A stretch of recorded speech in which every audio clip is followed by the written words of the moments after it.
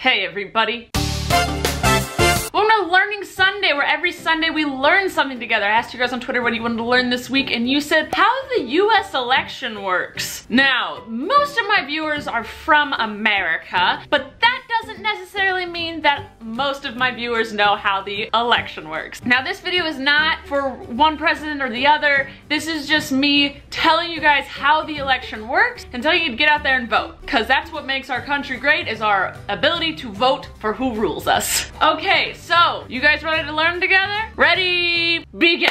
All right, so America is a democracy. Therefore, we the people vote for who we want to be president. The president is like the boss of America for about four years, and then there's a new election. A president can rerun for president, but he or she can only do that for two terms. So one term is four years, and you have a max of two terms. So we can only have one person for president for eight years. Now, America has two main huge political parties, the Democrats and the Republicans. They hold different views on how the government should work, what the laws should be, things like that. There are also a lot of other parties, such as the Green Party, the Libertarians, the Constitution Party, and the Natural Law Party. But those parties never win, so we're basically gonna focus on the Republicans and the Democrats. Now, if you wanna become president, there are a few requirements. One, you have to be a natural born citizen, so you have to be born in America. You have to be at least 35 years old, so sadly I cannot run. And you have to have been a US resident for 14 years. So if you have completed all of those requirements, you can run! Step one,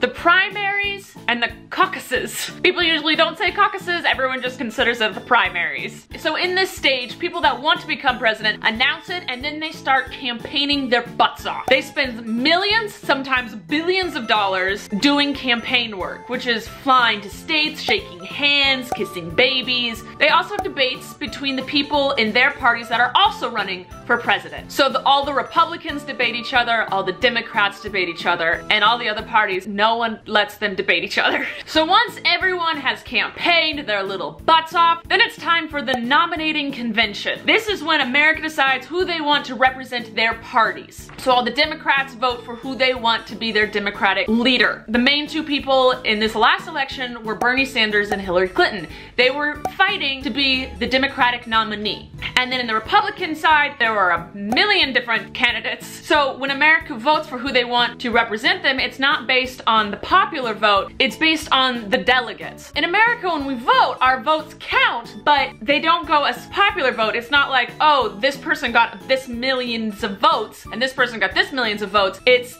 delegates vote for us. Delegates represent our votes. So, nominating convention. The people in the parties are running against the people in their own parties, and people vote for who in those parties they want to represent in the final election. Got it? In America, the Democrats overall, through the delegates, have chosen Hillary Clinton. In the Republican Party, the delegates have chosen Donald Trump. And then the two final candidates, well, there are more because of the third parties, but the main two final candidates start campaigning against each other. And then it comes down to the Electoral College, which is election day. And it is the first Tuesday after the first Monday of November every four years. Now, in order to vote, you have to be at least 18 years old and a US citizen. It is always those two things, but they add on other things depending on which state you're in. You also have to be registered to vote, but the register cutoff depends on the state. That's why you have to look into it ahead of time. So in the Electoral College, everyone votes within their state, and then those votes get transferred into electoral votes votes. Each state has a different amount of electoral votes and it's based on the population of that state. There are 538 electoral votes split among the states. And then the nominee who wins the most electoral votes gets to become president in January. So in November we find out and in January he or she becomes president. Okay, that's how our voting works. So I urge you if you're 18 or older, please go vote. I don't care who you're voting for. I mean, I, I, I do,